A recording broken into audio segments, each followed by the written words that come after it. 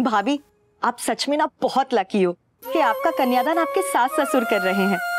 वरना लोग तो सिर्फ़ बहू को बेटी कहते हैं, मानते नहीं।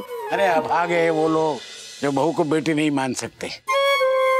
अनुपमा जब विदा हुई तब बहू थी, लेकिन इस आँगन में डोली उतरी तो बेटी हो गई।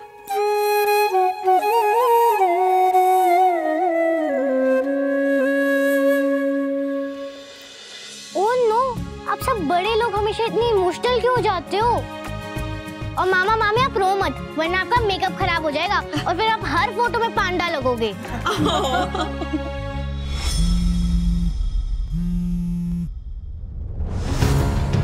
Damn it! ये नंदिनी फ़ोन क्यों नहीं उठा रही है? आई हैव टू इन्फॉर्म वरना बहुत बड़ी प्रॉब्लम हो जाएगी। अरे मैं भी अपने फ़ोन से फ़ोटो खींचती हूँ। अब फ़ोटो ही खींचते रहोगे या शादी में ध्यान दोगे? कन्यादान होने जा रहा है। हाँ।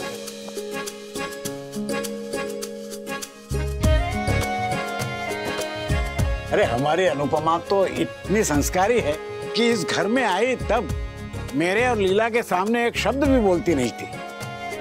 अरे तोशु के पैदा होने तक उसके मुँह से सिर्फ़ जी ठीक है बस इतना ही सुनाई देता था। और आज देखो पाँच पाँच पन्ने का भाषण देती है।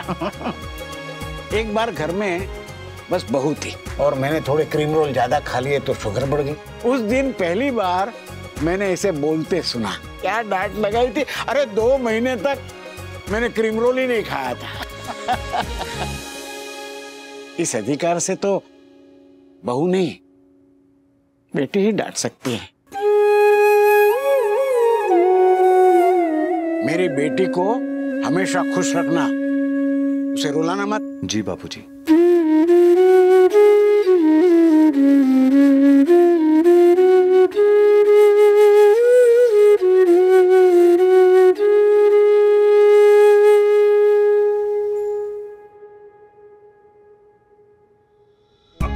गॉड पता नहीं कब खत्म होगा इनका ये ड्रामा। सोचा था आज भी कुछ इंटरेस्टिंग देखने को मिलेगा बट कुछ हुआ ही नहीं।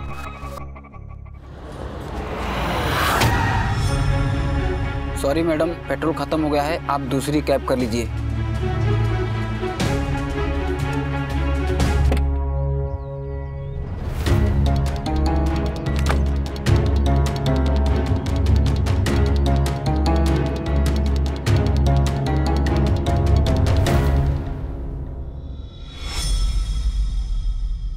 पच्चीस साल में बहू ने जितना हमें परेशान किया है ना तो थोड़ा हमारा ध्यान भी रखा है। अब इसकी बहू तो इसका ध्यान रखेगी कि नहीं पता नहीं है। इसलिए तुम्हें कह रही हूँ इसका बराबर ध्यान रखना। जी बा। और तूने मुझे पूछा था ना कि इस बार तू मेरी पसंद है कि नहीं? तो अब बताती हूँ तू मेरी पसंद है।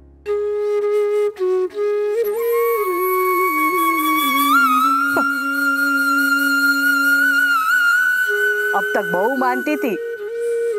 अब से बेटी मानूँगी।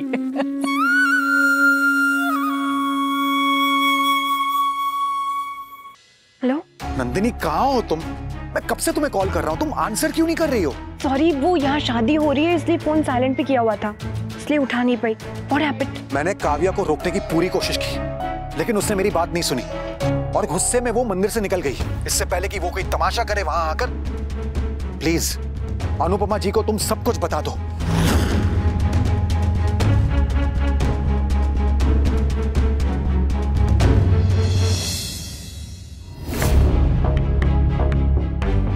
नंदिनी इतना परेशान क्यों है? कहीं काव्या की वजह से तो नहीं लेकिन काव्या है कहाँ? मेरे मैसेजेस का रिप्लाई भी नहीं कर रही। आई होप वो ठीक हो। कहीं गुस्से में आके कुछ उल्टा सीधा ना कर बैठे। क्या हुआ नन्नी मासी मंदिर से निकल चुकी है भाई। वो बहुत गुस्से में थी। शायद वो यही आ रही है। मुझे बहुत घबराहट हो रही है भाई। कहीं उन्होंने यहाँ पे नन्नी डोंट वरी काव्या को समझ में आ गया होगा कि पापा उसमें इंटरेस्टेड नहीं है। उसने बहुत स्मार्टली अपनी शादी उस दिन प्लान की थी, जिस दिन पापा मम्मी से शादी कर रहे हैं। और इवेंचुअली पापा उससे नहीं, मम्मी से शादी कर रहे हैं। और अगर फिर भी काव्या यहाँ पे आ भी गई, कुछ नहीं कर पाएगी। Trust me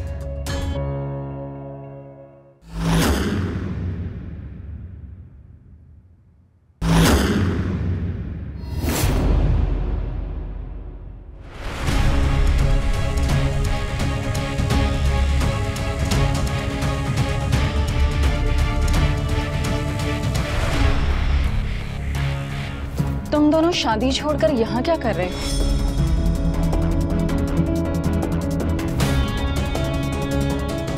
I am sure mister and missus Shah के लिए कुछ सरप्राइज़ प्लान कर रहे होंगे right right right right by the way I need a charger कहाँ मिलेगा तोशु वो रहा। हाँ थैंक यू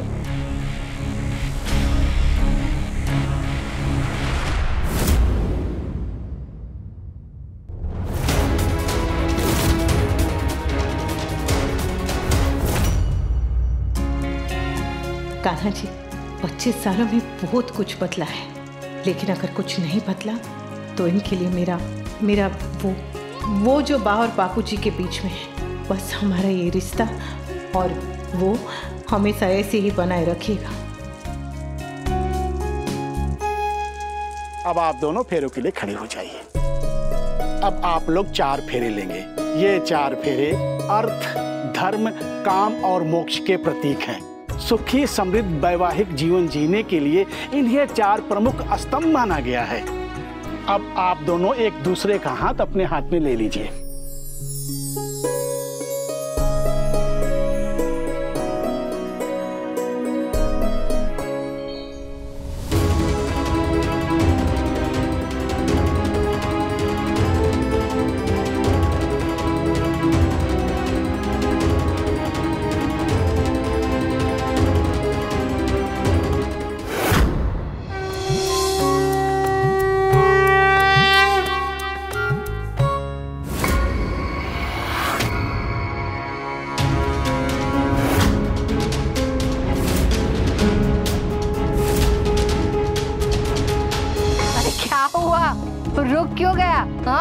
अब मन बदलने से कोई फ़ायदा नहीं है। पत्नी यही मिलने वाली है और कोई नई नहीं मिलने वाली। चल चल। मुझे तब तक नहीं मिली। चल चल। अब मज़ाक बहुत हो गया। चल चल।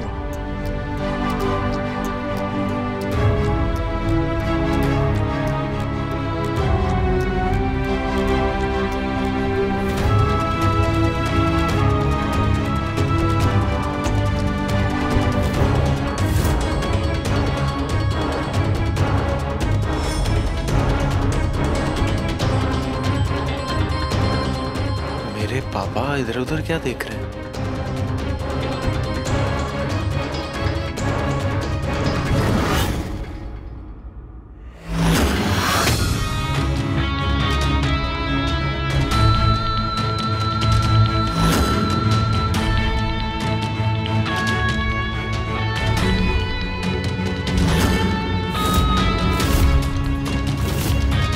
ये देखो अनुपमा। ये मेरा मंगलसूत्र है।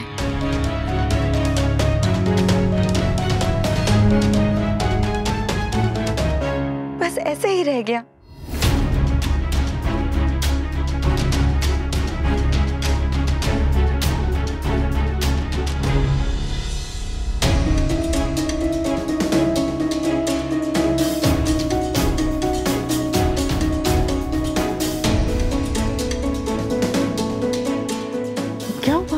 I am sorry Anupama I am really very sorry मैं तुम्हारी शादी में टाइम पर नहीं आ सकी क्योंकि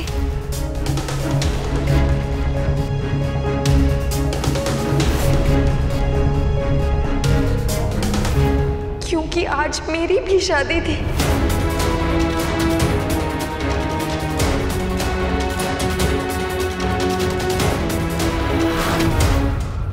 लेकिन मैं तुम्हारी जितनी लकी नहीं हूँ।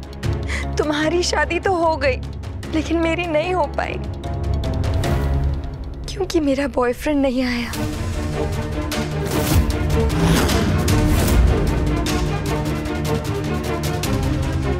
बॉयफ्रेंड बॉयफ्रेंड कौन? कौन काव्या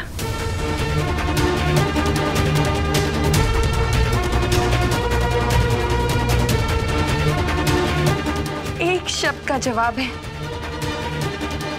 मगर देना बहुत मुश्किल।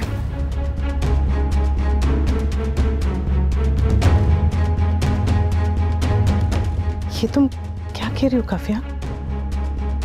साफ़ साफ़ कहो नहीं किससे शादी करने वाली थी?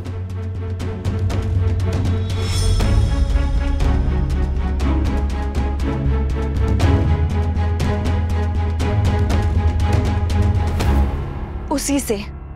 जिससे तुमने अभी अभी शादी की है।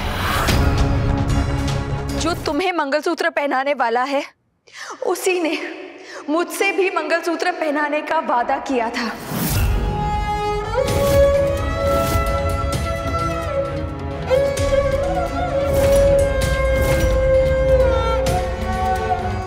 आज मेरी शादी तुम्हारे पति वनराज के साथ होने वाली थी।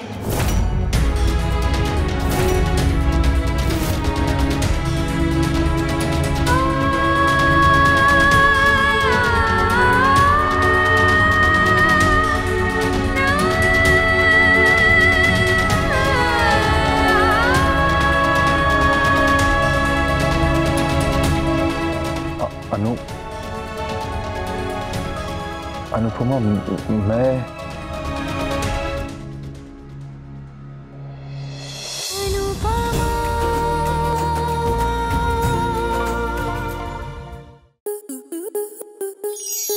आपके मनोरंजन पर अब नहीं लगेगा कोई ब्रेक। स्टार प्लस के बेहतरीन शोज़ देखने के लिए लाइक शेयर और सब्सक्राइब करें स्टार प्लस यूट्यूब पेज को।